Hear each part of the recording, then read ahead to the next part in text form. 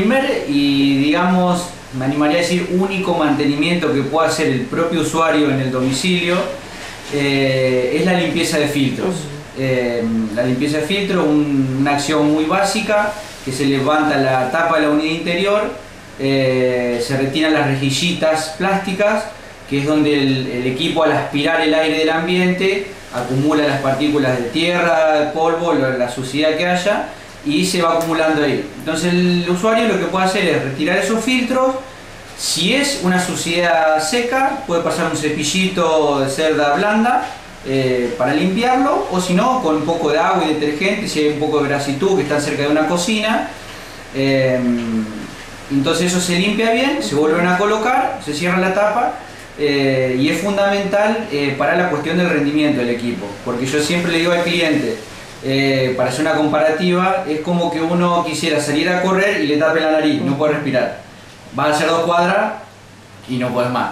Esto es lo mismo, el equipo al tener los filtros muy tapados no puede recircular el aire y no rinde lo que tiene que rendir. Exactamente, exactamente. Eh, esta es una acción básica que puede hacer cualquier persona que tenga un aire. Sí, sí, por eso te decía, eh, es prácticamente lo único que puede hacer el propio usuario porque es una acción simple y que se puede hacer em, dos, tres veces a la temporada, dependiendo del lugar donde esté instalado el equipo. Pero sí, digamos, es el, único mantenimiento que puede hacer el usuario porque ya de ahí más otro tipo de limpieza o de mantenimiento ya requieren por ahí un poco de conocimiento, algunas herramientas específicas. Eh, que no quita que por ahí el usuario lo pueda hacer, pero ya son un poco más complejas. Exacto. ¿Qué es lo que nosotros, bueno, el, profesional tiene que hacer anualmente? bueno, eh, como te digo, lo básico es eso, la limpieza del filtro. Y otra de las cuestiones que se tiene en cuenta en cuanto a lo que es limpieza que muchas veces esa misma suciedad que se, que se adhiere a los filtros se puede adherir a los radiadores y a la turbina, que es lo que empuja el aire. Y eso también hace que merme mucho el rendimiento. Eh, entonces, por ahí, como te digo, es muy relativo de acuerdo a los lugares donde está instalado el equipo, el uso que se le da a los equipos. Eh, pasa que hay veces que hay equipos que tienen 6 meses de, instalado y tienen una suciedad que parece que hace 20 años que están instalados y te toca ir a revisar aires que hace 10 años que están instalados y están impecables. Exacto. Eh, eh, eso, de qué depende fundamentalmente? Que, que tengan mayor o menor suciedad de la ubicación, a lo mejor de, la casa, ¿no? De la ubicación de la casa, por esa incidencia de, zonas de, mucho campo, de donde hay tierra. Eh, por ahí si hay, por ejemplo, mucha alfombra, la alfombra despide muchas partículas, si hay animales a las vueltas. Pero sí, depende un poco también, y no es lo mismo, por ejemplo, el aire del dormitorio, de una cocina-comedor, eh, varía así del lugar donde está instalado y en la zona, digamos, de, la ciudad o de la región donde uno lo tiene instalado. Exacto. ¿Cuáles son las falencias más frecuentes que ustedes encuentran?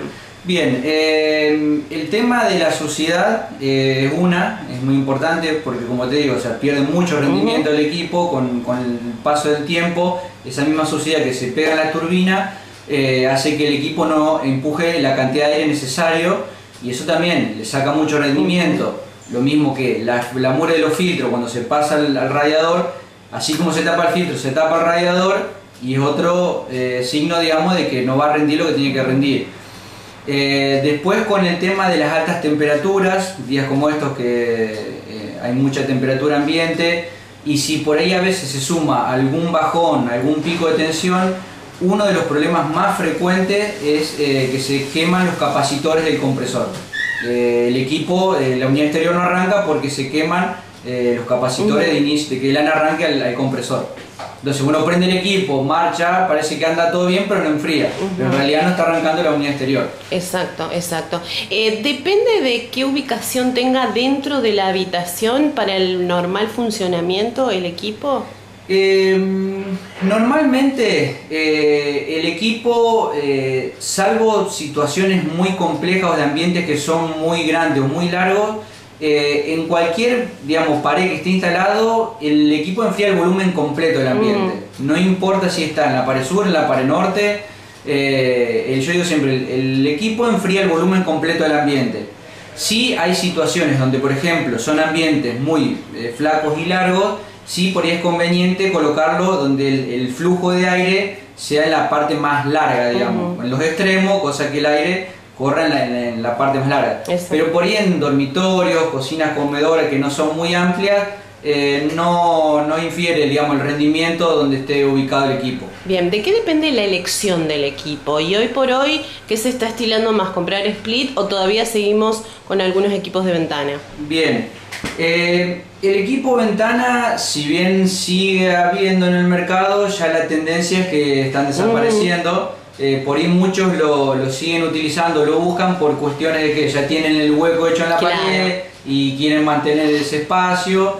Em, pero sí, la tendencia es que el equipo de ventana vaya desapareciendo. ¿Por qué? Porque el split es mucho más silencioso, tiene versatilidad de instalación. Eh, por ahí hay lugares donde las paredes no tienen mucha alternativa de salida exterior. El split te da una cierta versatilidad. No se puede hacer cualquier cosa, pero sí te da mucha versatilidad. Em, pero el, cambio principal en estas últimas temporadas se dio con el split convencional y eh, con el salto de tecnología del inverter. ¿eh? El inverter ¿Qué es lo que hace? En vez de parar y arrancar el compresor, como lo hace un split convencional, cuando llega la temperatura que uno tiene programada, el compresor corta y vuelve a arrancar. El mayor consumo de cualquier motor se da en el arranque. Entonces los split convencionales, denominados on-off, porque paran, arrancan, eh, el consumo por ahí es mayor por ese motivo, porque para, arranca y son muchos arranques tiene compresor. El inverter tiene un sistema electrónico con plaquetas que lo que hace es regular la velocidad. En vez de parar el compresor, merma la velocidad de marcha. Entonces el compresor no para, solamente baja las revoluciones de marcha. No lo hemos testeado nosotros, pero los fabricantes eh, indican que es hasta un 30-35 más económico, perdón, 30-35% más económico en el consumo de corriente y lo que hace también es que es mucho más eficiente. En los rangos de temperatura nosotros programamos el equipo a 24 grados en un split convencional es muy probable que la curva de temperatura se pase a 25 o 26 y empiece a arrancar. Cuando enfría, capaz que en vez de cortar a 24 se pasa a 23, 22 y vuelve a retomar. El, split inverter lo que tiene es eso, es una eh, mucho más parejo y más estable la temperatura, no tiene esos picos de temperatura.